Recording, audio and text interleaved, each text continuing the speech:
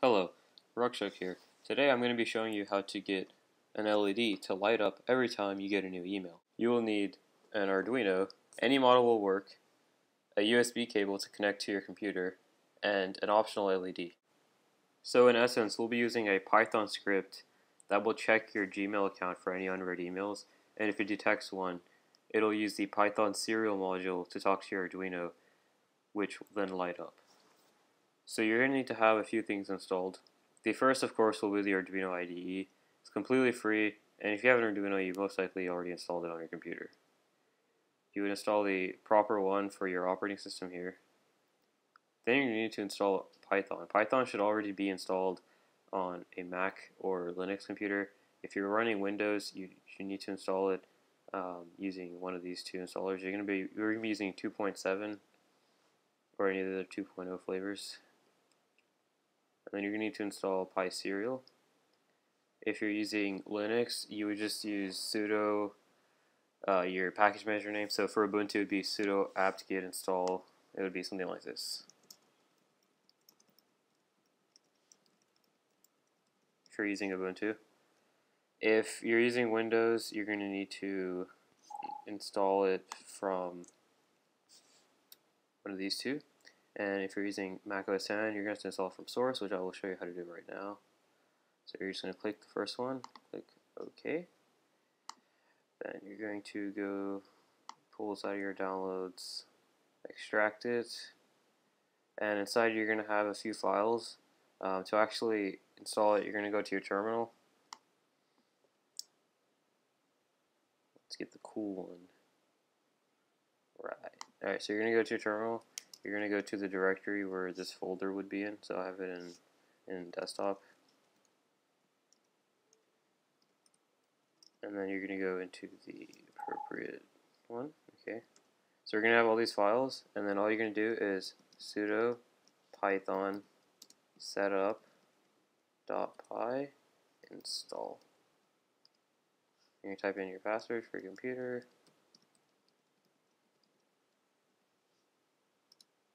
And there, it should have installed it.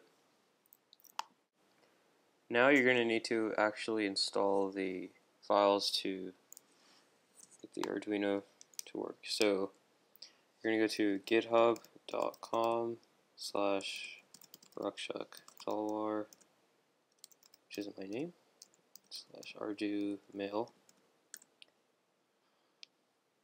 And then you can use git to install it through the terminal. Uh, to keep it simple, I'm just going to download the zip file.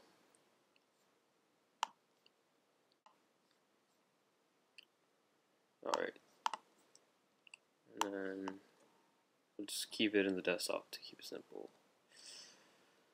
So when you open the directory, you're going to have a few file, uh, a direct, another directory in file. Uh, the this one is going to have the Arduino file, so we're going to open that up first. And then the code should work. You don't need to modify it at all. Uh, just be sure to select the proper board. I'm using an Uno and I have it plugged in and it's plugged in to this board right here. And I'm just going to upload the code. Alright. Alright, so it's done uploading. Uh, that's all I really need. I can uh, just put this aside. I will need the window in a second. So you're going to open up the, the Python file. You can use any text editor. I'm going to use IDLE 2.7 because I'm going to be able to execute it within it. And this comes if you installed uh, Python from python.org. Otherwise, you can use the uh, Python through the terminal and it'll work the same. So in the code, uh, you're going to have to modify a few things. Uh, the first one is going to be your serial port. This is a serial port for your Arduino. On the bottom right hand side of the IDE, you should have the serial port uh, listed. Around here, it's forward slash dev forward slash cu dot USB modem 1411. So I'm just going to type that in here.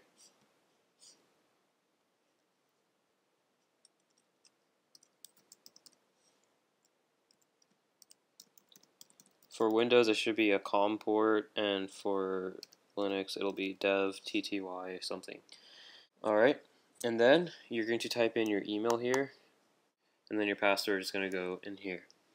Then when you're done doing that, you're just going to file and save it, and I will come back to it as soon as I type in my credentials. One second.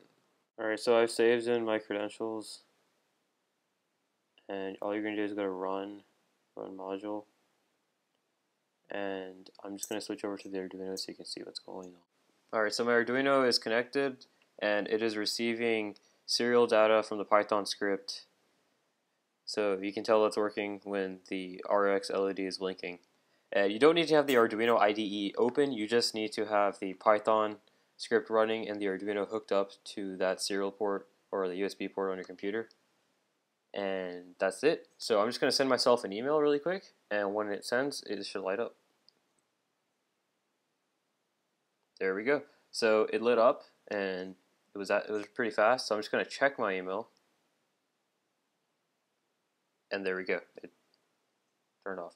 So it's really that easy. I found this to be a much easier way to do it without using an Ethernet shield because the Python uh, programming language is very flexible and it's very powerful for this kind of stuff.